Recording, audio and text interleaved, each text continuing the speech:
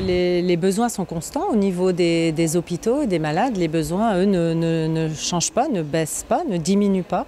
Et donc il faut qu'on soit euh, en mesure de solliciter euh, les donneurs pour, euh, pour assurer cette autosuffisance. Donc effectivement, les gens sont sur la route, vont dans leur famille, se rendent au réveillon. Et donc voilà, il faut, qu'on soit vigilant, nous, et par tous les moyens, on va essayer de solliciter nos, chers donneurs pour venir faire un don. C'est pas long, ça prend pas trop de temps, et puis ça va sauver des vies.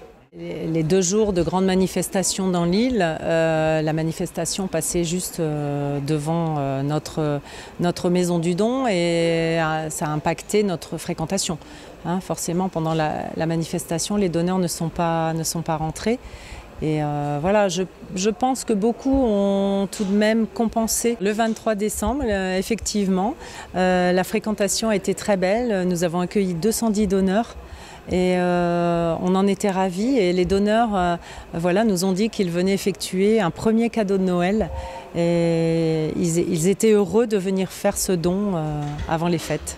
vraiment venez donner pendant les vacances parce que nous, voilà, c'est une période qui est un petit peu plus creuse que d'habitude et donc on vous attend nombreux et vraiment venez donner, c'est très important.